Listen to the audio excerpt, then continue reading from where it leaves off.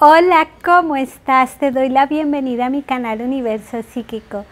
Yo soy Elizabeth y hoy te voy a hablar de un tema romántico. Vidas pasadas, cómo reconocer a tu pareja, al amor de tu vida, a tu alma gemela, si es de vidas pasadas. Yo te voy a contar unas maneras muy fáciles y sencillas de reconocer ¿Será que esta persona es mi alma gemela, que es de vidas pasadas, la que fue elegida para mí, para vivir en esta vida actual el amor verdadero, la felicidad completa, totalmente divina del área del amor?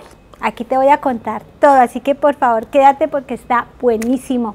Pero antes, si tú no te has suscrito a mi canal, lo puedes hacer ahora mismo gratis haciendo clic en el botón rojo que dice suscribirse y activa la campanita para que sepas cuando llega un video nuevo de Universo Psíquico.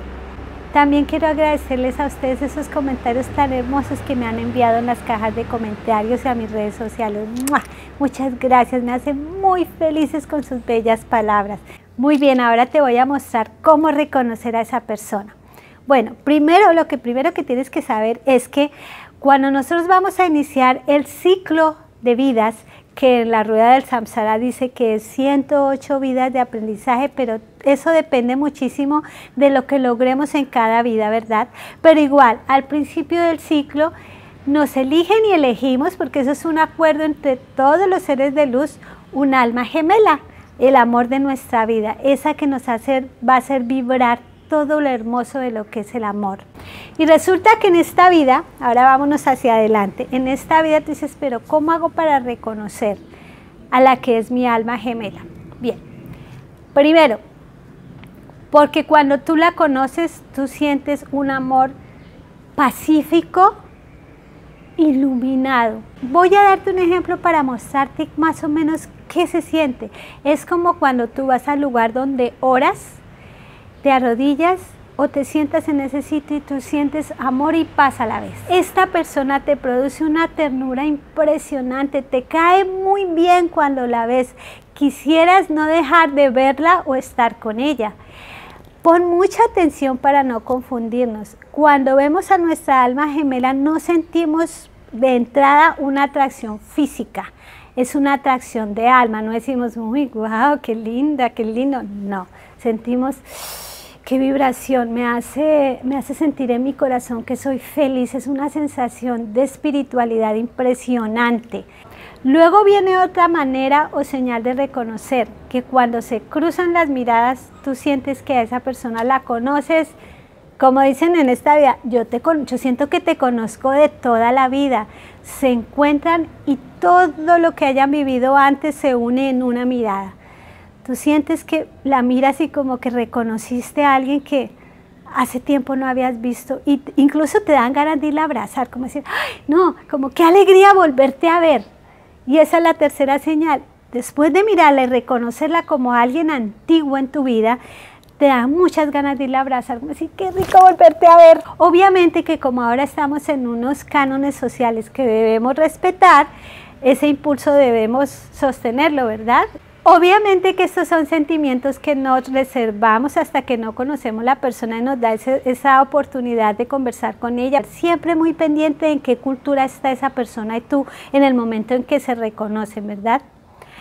La siguiente señal, y es cuando empiezan a hablar tú empiezas a sentir y esa persona también que lo que hablan es algo que ya se sabía del uno del otro. Por ejemplo, ya te puede decir, tú estás pensando y dices, mm, yo siento que esta persona se dedica a la publicidad. Y entonces tú le preguntas, ¿y tú a qué te dedicas? Y te dice, no, pues mira, yo trabajo en publicidad. Y tú sientes, ¿cómo lo sé? ¿Cómo lo sé? ¿Cómo sé eso? Son momentos en que uno tiene una conexión, porque cuando hablamos de almas gemelas es así, como los gemelos idénticos uno tiene una conexión impresionante y ahí va la siguiente señal. Si tú avanzas en la relación, por ejemplo, ya dijeron, bueno, ¿qué tal si empezamos a salir? Te invito a comer y eso, empiezan a ocurrirte experiencias extrasensoriales. Entonces, por ejemplo, suena el celular y sin tú mirar todavía el número, en épocas antiguas, en la época en que yo nací no había celulares, solo sonaba el teléfono, pero no podías ver quién llamaba y uno inmediatamente siente el nombre de la persona, siente que es esa persona y contesta uno y efectivamente es. Mira su celular y dice, ay, sí es ella. Siempre hay una conexión de decir cuándo nos vamos a comunicar. O puede pasar que tú le llamas y esa persona te dice, estaba a punto de llamarte. Entonces hay una conexión, digamos, es casi que sintieran lo que la otra persona siente. Otra señal, cuando empiezas a tener una especie de noviazgo con esta persona, que empiezan ya como ese vitreo, el coqueteo y esas cositas, notas que empiezas a percibir qué le puede estar pasando a tu pareja si está en un momento difícil, ¿no? Entonces se crea como un vínculo donde sientes qué pasa, qué siente cuando no está incluso cerca de ti. Eh, yo he escuchado muchas historias de estas de almas gemelas.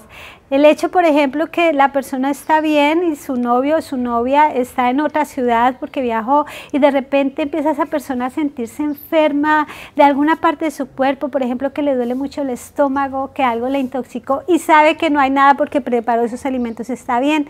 Y decide llamar a su pareja y le pregunta, ¿estás bien? No, tengo un dolor de estómago y describe los mismos síntomas que tú estabas sintiendo. Entonces hay una conexión de almas que vibran y sienten la energía de los cuerpos por la misma proximidad. Esas son señales hermosísimas. Otra de las señales es que cuando hablan han tenido experiencias similares en la vida actual, muy similares, similares que pueden ser muy hermosas como también muy dolorosas. Un ejemplo, Eso ocurre muchísimo, muchísimo. Por ejemplo, alguien que te dice, mira que el año pasado yo fui a visitar esta montaña famosa, por ejemplo, Machu Picchu. Dice, ¿en serio? ¿Cuándo fuiste? Fui en mayo. Yo también fui en mayo. ¿De verdad? ¿Y dónde te quedaste? ¿En tal hotel? Yo también me quedé en ese hotel. Y después se muestran tiquetes antiguos o fotos y estuvieran en el mismo lugar al mismo tiempo. ¿Cómo puede ser esto posible? Y no nos vimos, pero se cruzaron más de una vez en el tiempo y en el espacio. Eso, es hermoso. E igualmente situaciones difíciles, por ejemplo, ya te puede decir, no, yo perdí a mi padre cuando yo tenía cinco años. Oye, yo también perdí el mío cuando tenía esa edad. No, mamá se fue de casa cuando yo tenía tal edad. La mía también. Tengo dos hermanos. Yo también tengo dos hermanos, ¿verdad? Incluso hay almas gemelas que deciden estar tan unidas, es un amor tan profundo como te decía, como de ángel guardián, que deciden no separarse y cuando trabajan mucho en la iluminación, en cada vida viven muy cerca, entonces puede ser tu vecina y se conocen desde que son niños. Por eso muchas veces ha ocurrido, si tú ves en las noticias por todo lado está, que se conocen un par de niños y dicen que se van a casar cuando grandes. E incluso a veces los niños dicen, ella fue mi esposa en una vida pasada. ¿Te están diciendo así? De una, porque recordamos esas cosas. Y fíjate que algunas almas gemelas crecen como mm, en el mismo barrio, van a la misma escuela, van a la misma universidad, se casan y siguen juntas toda la vida. Montones de historias así. Otra de las señales que para mí es fundamental, yo realmente comparto mucho esto porque hay personas que de pronto dicen, no, yo sé que es, eso fue amor a primera vista, hay que observar muy detalladamente las otras señales para saber elegir correctamente porque podemos pensar que es un alma gemela y no lo es. Cuando iniciamos esa relación, cuando estamos saliendo, cuando vamos de noviazgo, cuando no, incluso estamos hablando de, de, formalizar la relación, cuando estamos con el alma gemela y ella ya está pulida, o sea, las dos se han ido encontrando y ninguno de los dos se ha hecho daño, ninguna de esas dos almas se han hecho daño, todo fluye en esa relación, no hay dolor.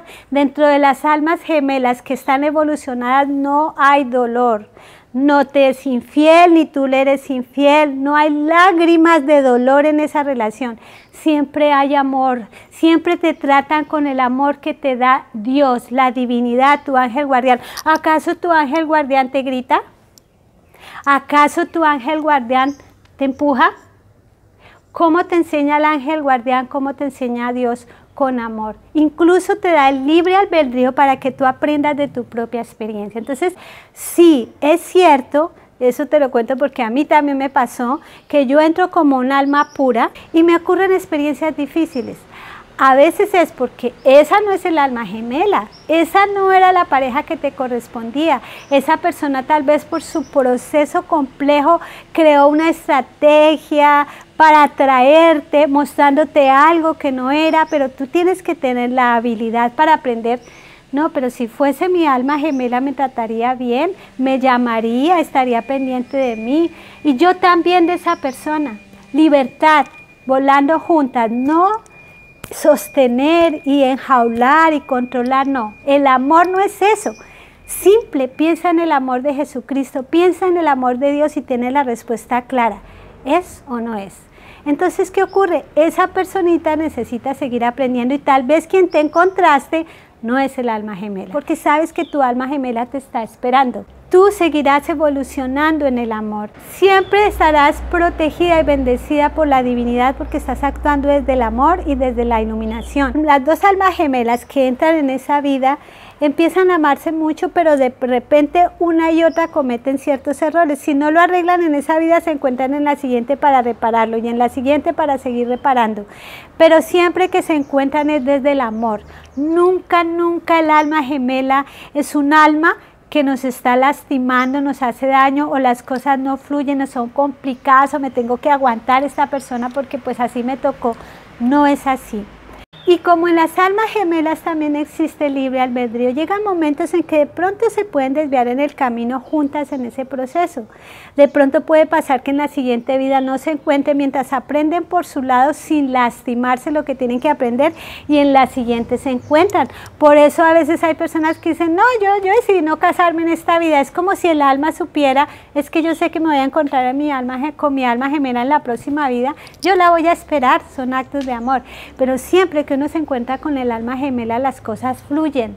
Son hermosas, divinas, llenas de amor. Incluso los momentos difíciles, porque cuando tomamos un cuerpo, que es un vehículo físico, el cuerpo también tiene como sus falencias, ¿no? sus momentos difíciles, adquiere una mente y esa mente también piensa y se deja nubilar por la sociedad. Pueden haber tentaciones y pruebas, pero siempre que nos encontramos con un alma gemela, las cosas se resuelven en pareja. Mira, me siento así, ayúdame con esto, ¿qué te pasa? Hay diálogo, hay una comunicación asertiva. Todo se da muy bien. Estoy segura que tú conoces de esas historias.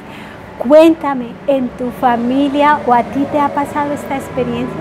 Si tú sabes de este tipo de experiencias cercanas a ti o te pasó a ti, cuéntanos en la caja de comentarios. Es hermoso, es hermoso el hecho de reconocer cuánto he estado con mi alma gemela desde el principio. Si te ha gustado este video, por favor regálame un like, compártelo en tus redes sociales con todo el mundo, eso a mí me ayudaría muchísimo.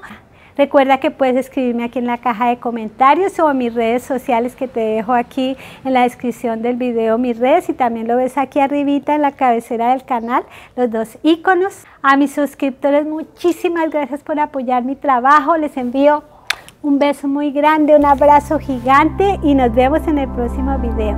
Hasta pronto.